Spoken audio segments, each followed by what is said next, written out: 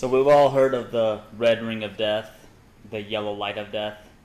I want to introduce to you the blue slot of life. You see that? This Wii console was purchased in 2006. This Wii console was purchased at launch 2006.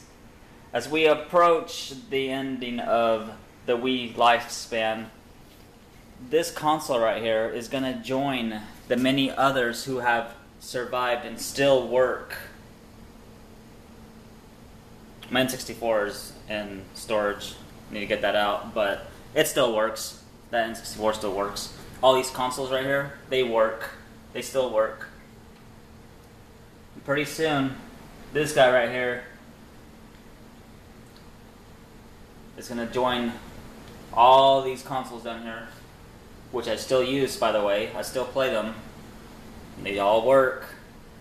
I got more. I got Game Boys. I got all the other stuff.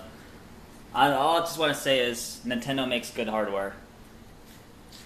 And my launch Wii still works.